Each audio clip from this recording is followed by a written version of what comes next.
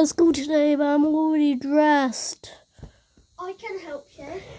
Ah, how about you? I'm just an ordinary kid. Okay, so what are we gonna do? Just ask your mum to put on the TV and I'll hand over. Alright, guys, let's go. Alright, let's ask Mum. Oh, Mum. Say that again. Uh, can you put on my news? I don't think I can go to school today. Why? Just put on my news. Okay. Okay, today night is no drop, so you can't go to school.